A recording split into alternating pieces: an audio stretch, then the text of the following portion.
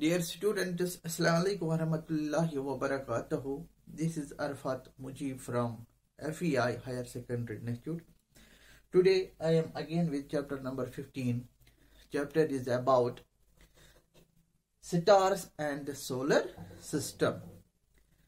It is 8th standard science. In this chapter today my topic to discuss is concept of light year you know the concept of light year is a measuring unit to measure the distance between the stars. In the previous lecture i told you about that stars are far away from the earth's surface and you can guess that light takes millions of years to reach to the earth's surface. इस अंदाजे से आप पता लगा सकते हो कि जो सिटार्स है, ये अर्थ से कितने दूर है, जबकि इनसे जो लाइट इमिट होती है, उसको अर्थ सरफेस तक अर्थ सरफेस के पहुँचने तक उसको मिलियंस ऑफ़ इयर्स लगते हैं। तो कितना डिस्टेंस इनमें है? सिटार्स और themselves far off distance to each other खुद भी ये एक दूसरे से बहुत दूर होते हैं और अर्थ से भी बहुत दूर होते हैं। वही डिस्टेंस मेजर करने के लिए एक यूनिट इंट्रोड्यूस किया गया, जिसको हम कहेंगे light year concept.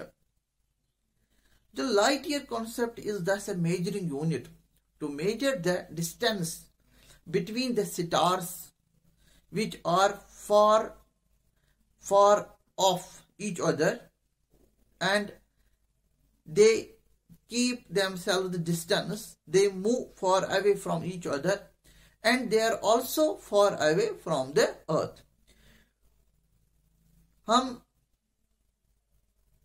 ऐसे मेजरिंग टेप लेके उसको मेजर नहीं कर सकते इनका डिस्टेंस अंदाज़ा करिए कि लाइट को कितना टाइम लगता है अर्थ सरफेस को पहुँचने तक तो इनमें कितना फासले होंगे आपस में और अर्थ से।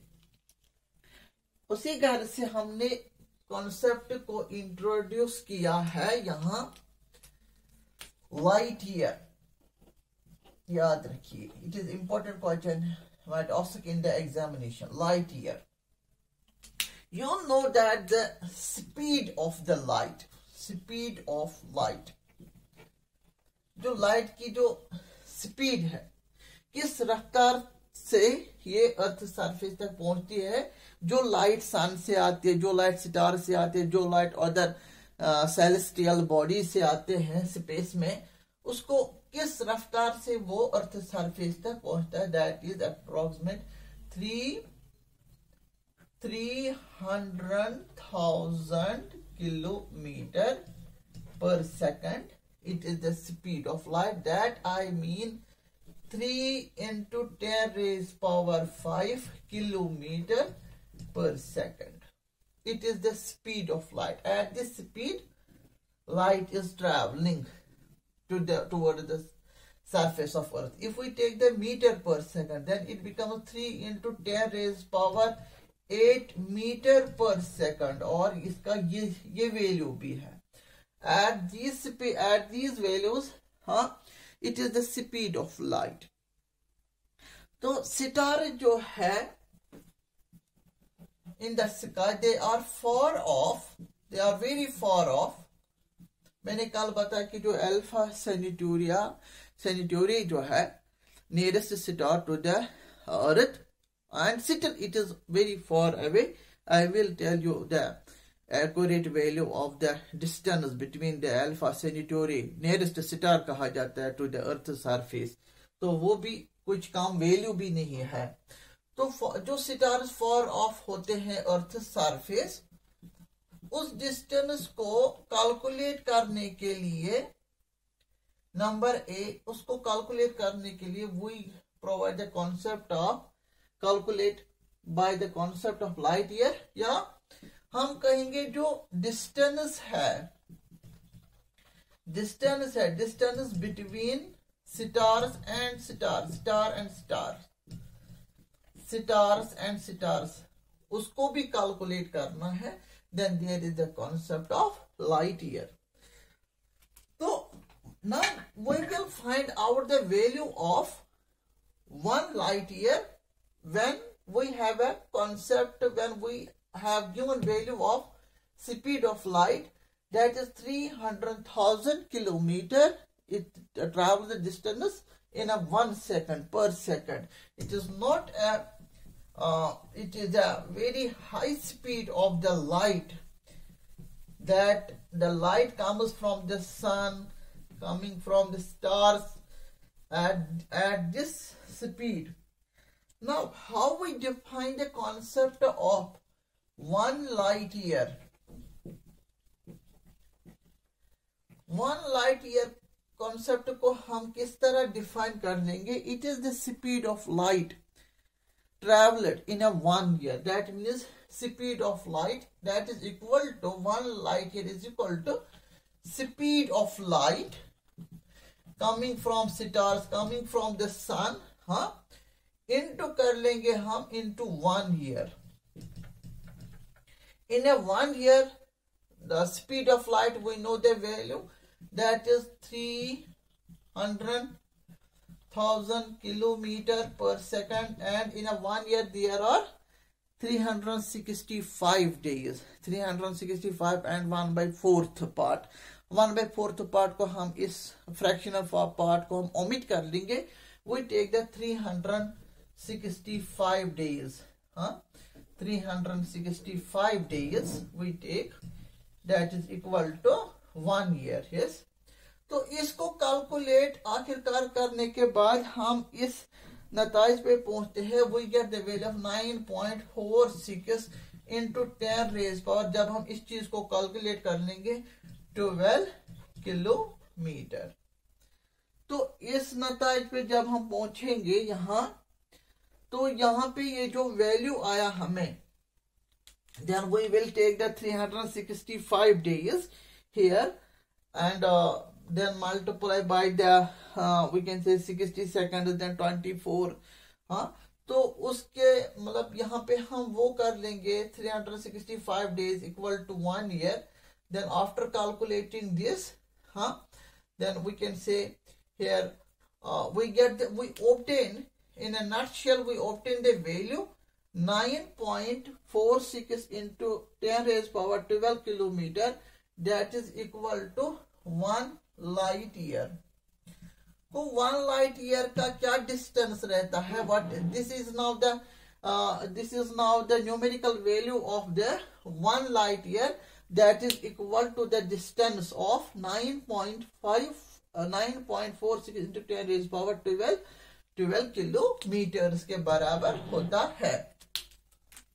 तो ये कॉन्सेप्ट है one light year now when you have a concept of one light year then one light year is equal to this uh, this numerical value of uh, distance um, it is equal to this uh, distance then you can find out the distance between the stars, distance between the planet, distance between the other uh, celestial bodies. It is the measuring unit of, uh, and we um, we uh, we um, we uh, got the concept of light year uh, because of the speed of light, and in a one year. Uh, what is the in a one year what is it the speed then speed of light here we can say speed of light and we multiply it in a, by the 365 days that is equal to one year then at last we get we obtain this value huh then we can say one light year is equal to ये कभी को पर आपका exam में आता है इसका value ये था one year one light year का कॉन्सेप्ट वन लाइट ईयर का concept this one light year now you have a if there is the distance if there is a concept of now one light minute it is also measuring unit it is also a measuring unit that is very smaller than the then one light year one light year जो है वो calculate हम distance करते हैं जो large distance हो। अगर छोटी डिस्टेंस हो then there we have a alternative unit one light year one light year का मतलब यहाँ पे is equal to the speed of light speed of light in a minute in a minute वो था इससे पहले speed of light in year that speed that open that speed of light multiply कर लेंगे one minute yes speed of light into one minute से multiply करके what is the speed of light three hundred thousand kilometre per second you multiply, you know that one minute is equal to 60 second. That when you obtain this here this second and second cancel out here then you obtain the kilometer distance. 6 3 are 18 18,000 thousand kilometer huh? That is equal to 18 into 10 raised power 6 kilometer. It is not so much distance as is of distance of uh, one light year that is the 9 that is equal to 9.46 into 10 raised power 12 kilometer yes it is here the uh, 18 into 10 raised power uh, 6 kilometer it is the value of the one light year ये वहां पे concept apply होगा वहां पे unit apply होगा जहाँ पे जो सेलेस्टियल बॉडीज होता है, उनमें डिस्टेंस कम हो rather than the by using the unit there are the two units one is the one light year another is the one light minute तो one light minute what is the light minute ये भी आपको text book पे question mention है, वहाँ पे concept mention है. That is equal to 18 into 10 raised power 6 kilometre when there is a speed of light in a travel traveling in a one minute. That means in a 60 seconds you cancel out the this unit and obtain multiplying. After multiplying you, you will obtain this unit. Huh? one light minute also is a unit to measure the distance between the uh, celestial bodies. That means distance measuring the distance between the stars which are close to each other. And one light year is a unit measuring the distance between the objects which are far apart from each other तो ये था concept of light year why stars appear point objects why stars why stars stars appear point objects on the surface of the earth on the surface of क्यों इसका reason है because जिस तरह हम देखते हैं on the surface of earth an aeroplane is flying हाँ have a have a flight high in the sky that it it looks like a point object as sometimes birds are flying very high they look smaller in size huh? that means they are far off far, they are far off from the surface of the, जितना ये दूर होंगे अर्थ के surface से अर्थ surface से, उतने क्या दिखेंगे ये सितारस ये दिखेंगे शाबाश, ये सितारस दिखेंगे they appear all though they are not pointed object they are bigger in size हाँ? Then they are huge in size. They just appear on the surface of earth. They are pointed object although they are bigger in size. As some of uh, stars are dimmed dim faint uh, some are bright huh and twinkling in the sky. This is the now also the stars are changing the distance between them. They move far off. They move away from each other. And why not we observe the stars are moving uh, apart. हम हमें ये क्यों नहीं हम ये महसूस करते हैं हम क्यों नहीं ये देख पाते हैं? ये जो सिटार्स है दे कीप डिस्टेंस वो जगह थोड़ी जगह रखते वो जगह रखते वो they move away from each other ये हम इनमें ये चेंज क्यों नहीं देखते हैं? Why not why not it is appearing to us in noticing that distance uh, are changing between the stars stars में stars are changing the distance in a year. Years में वो चेंज करते हैं और उनको ईयर्स लगते हैं change करने में. They are moving away from each other because also they are जितना ऑब्जेक्ट हमारे नज़र से ज़्यादा दूर रहेंगे ये जो इनमें रिलेटिव मोशन होगा आपस में जो मोशन होगा इनमें वो अननोटिसेबल होगा. All though they are continuously changing the distance between uh, between these between them. They are changing they are go on go going on changing the distance between. Also they are not uh, they um, they appear they don't appear as that they are changing the distance. And now I, I talk about that alpha Centauria according to light year concept. Huh?